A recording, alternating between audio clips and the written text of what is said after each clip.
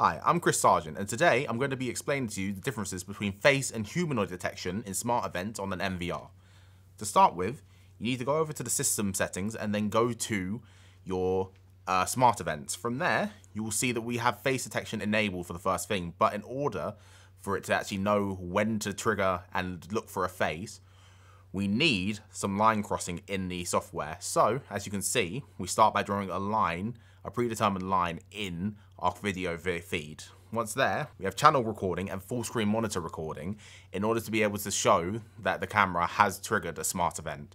As you can see here, we then go into recordings and on the channel which the camera is where we set the smart event, which is 5, we are going to give every single day of the week a full line across the board for smart events. So at all times, it will always try and record smart events if it triggers any. As you can see in the preview, my co-walker Simon is going to walk past the camera. With face detection on, as you can see, nothing happens. This is due to the fact that face detection will not actually trigger a smart event unless you walk past the camera with your face in view for it to detect. So as you will notice, as he walks back across, this time across the same line, the camera, the screen has gone full. This is to show that the smart event is triggered. From here, we're going to go over to the settings and we're going to change the smart event from face detection to humanoid detection. In this mode, it'll only trigger if it actually detects someone as a humanoid shape. So a person, any type of person walking past.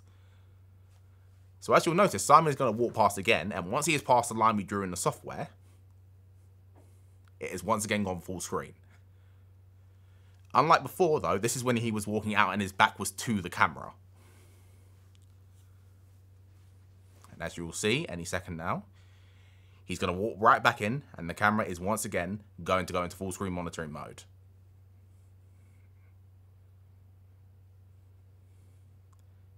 And there he goes. Notice he's keeping his back to the camera.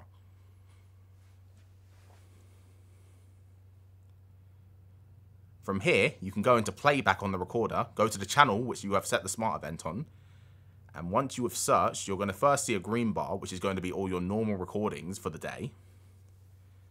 This will be if you were doing something like 24-7 recording.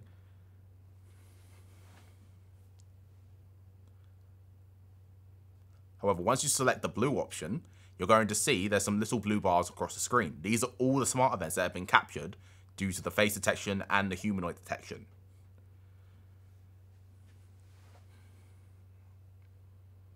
As you can see, it's all Simon walking across to and from the camera, walking out of the room and into the room. These are all the smart events that have been triggered by the camera. You can then go into file management, and from here, you can look at human files. These are all the images that the NVR will have taken through the smart events once it triggers someone on the camera. It will take a picture just to make sure that you know who has been triggered on the smart events.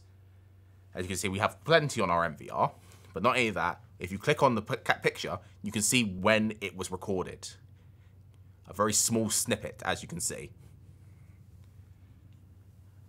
That's all for today. Thank you for watching. Have a good day, night, morning, wherever you guys are. And we'll see you next time. This is Domar CCTV signing out.